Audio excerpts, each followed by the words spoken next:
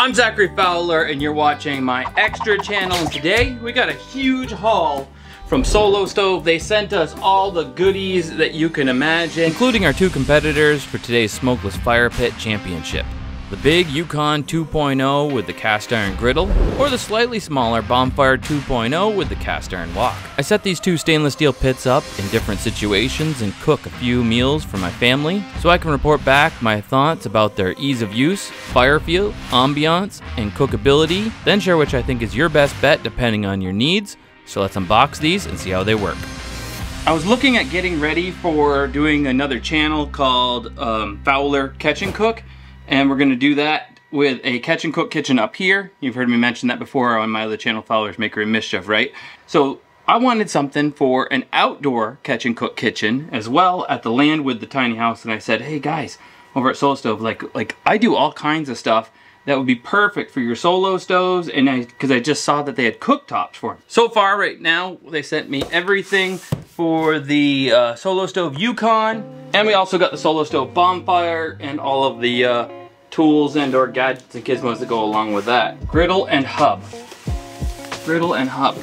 I'm probably gonna set up one of these here at the house for with the family and for videos, and then one of these at the tiny house over there. Mean, this one looks like it's big, and this will be perfect for entertaining a bunch of guests. Sticker, put a sticker with our sticker collection. There. When I first get something, I try to always set it up without the instructions and that tells me how, to a degree, how well something was designed. I'm guessing that's probably for ash, clean out at the bottom there.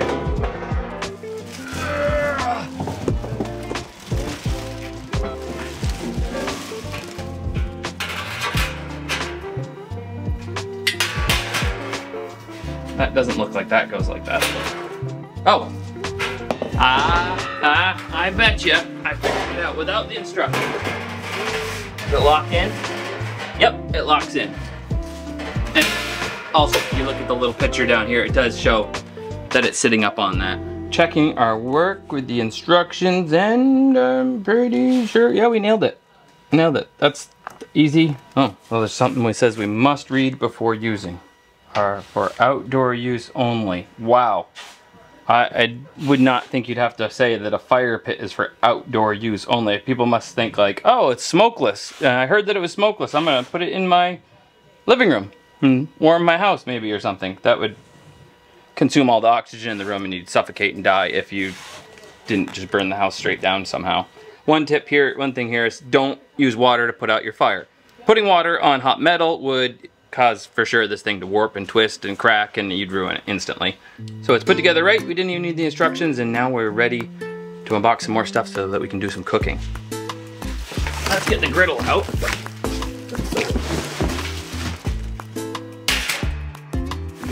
Oh, this is what I'm excited about. Look at the size of this thing. Look at the size of that. Oh my goodness stays in there nicely, good and sturdy. Caution, those are hot. That's why they sent these little silicone grips. Little mat that goes with it. So when we want to take it off, and we're done cooking, take a break. Put it into the hole, lift up. Oh, easy carry. That's nice. And then you grab your ring, move it. You know, that's kind of a really cool thing about this. Nice poker and hooker for wood. Nice long tongs. Because this is smokeless, that fire is gonna be super hot. A little roll up of little kebab tongs. A plain lid for it.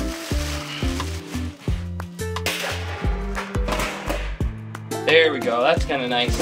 And some grill tools flipping our chicken, flipping our burgers.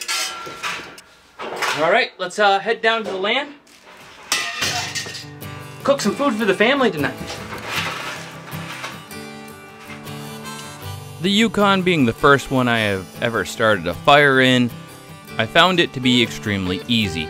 We're not going to go too deep into the footage of the cooking and stuff because that's in my earlier video on Fowler's Makery and Mischief where I did the striper catch and cook. So if you'd love to see the full romantic cook, make sure you check that out there on my other channel. When it comes to starting a fire in these, it's just as easy as starting it in a regular fire pit. Start small, you got your little fire starter. In this case, I'm using my Wazoo fire starter necklace just to spark up a piece of birch bark and some small kindling. The solo stoves aren't magic, so you still have to use good materials. If you go and put a bunch of rotten stuff in there that doesn't want to burn, until the fire is up to temperature, you're not going to get that smokeless effect. But if you pick some nice dry wood, your fire will be up to temp in a matter of, I think it took me two minutes, and I was ready to put the griddle on top and start cooking.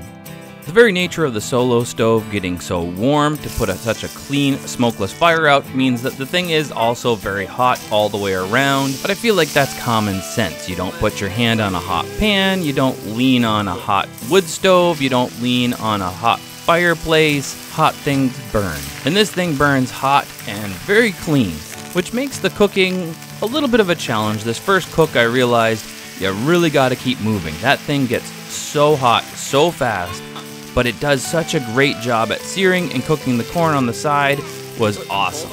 I really love this giant flat griddle for the Yukon. I was able to cook enough food for five people in like five minutes and everything was hot and able to be served all at the same time because that space was so big. So for my first time ever using a solo stove and that large griddle at the same time, I feel like I kinda nailed it. Alright, hon! Dinner's ready!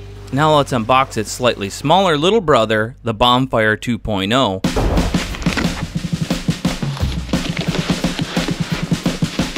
Oh wow!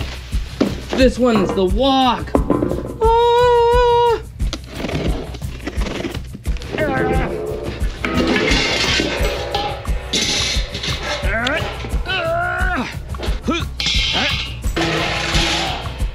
Wins an assembly award. Assembles in three seconds. Oh, that's how you cheat when you're at home. Waxed cardboard from the grocery store. And then if you have a wife who makes wreaths out of pine cones, hey, throw some of that in there.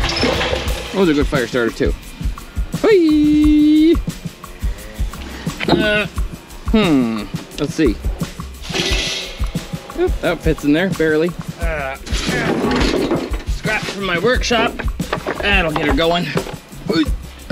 Ooh, hi, mm, too big.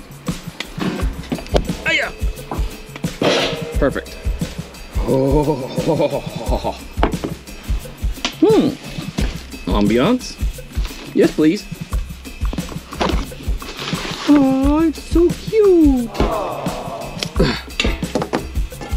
Wait.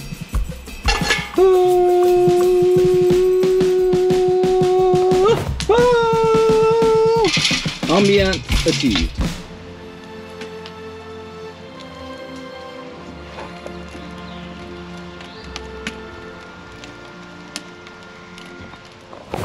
Here's my cooking hack for whether it's a solo stove or you're an open fire. Ashes, keeping some ashes close by with your little shovel. A little bit of ashes to temper down what you got going on. It gives you the ability to control and dampen your fire. Get that exact temp you're going for. Some cod I just caught. Let's cook that up.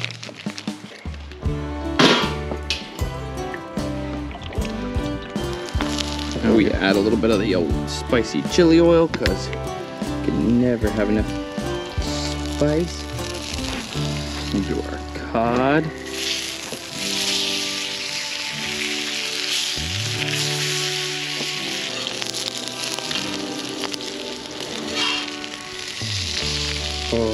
Oh, look at that. Would you look at that? Would you look at that? Shallots and garlic. And the taters out of the steamer. Some Swiss chard, quickly braised. Plate it. That was a speedy cook presentation. Maybe could use some work, a little drizzle, some fancy sauce. But I think we nailed it. Yeehaw. Mmm. That's the best cod I've ever caught. That has to be the fastest cook I've ever done. That was really fast.